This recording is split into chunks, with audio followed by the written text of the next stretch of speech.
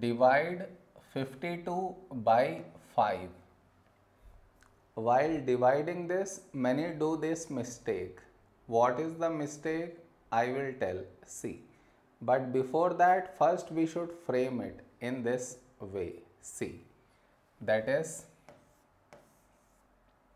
52 5 okay next now here we have 5 here also we have 5 when do we get 5 in 5 table? 5 ones 5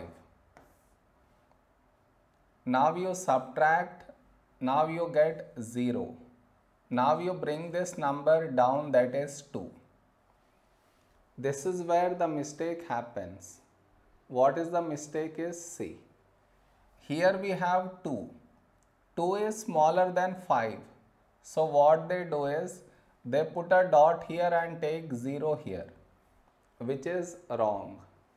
Just now you brought the number down and in the same step you want to take decimal and take 0 here.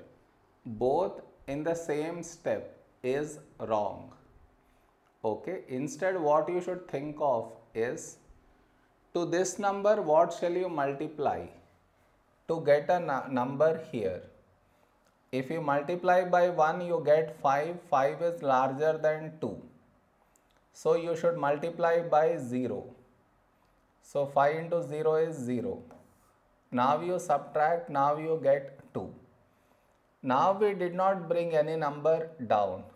Now 2 is smaller than 5 so now you can take dot and 0 here now here we got 20 when do we get 20 in 5 table? 5 fours 20 so you subtract you get 0 so this is our quotient. Did you understand the mistake? You should not repeat it. Am i clear